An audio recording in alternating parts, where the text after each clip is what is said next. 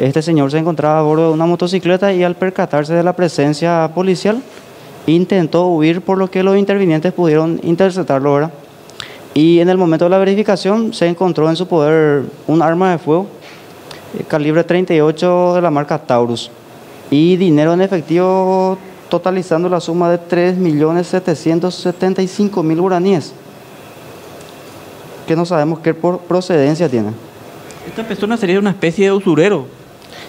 Y la verdad que desconocemos en qué se dedicaría esta persona. ¿En qué carátula tiene? ¿De ¿Violación de la ley de armas? Violación de la ley de armas. Eh, también resistencia. Y en realidad ya va por resistencia porque se resistió al momento de huir del personal policial. ¿No intentó sacar su arma, nada? No. Eh, tenía una cadena eh, de color amarillo y aparentemente también tarjeta de cobro. Sí, este, una cartera que contenía en el interior dos billeteras personal.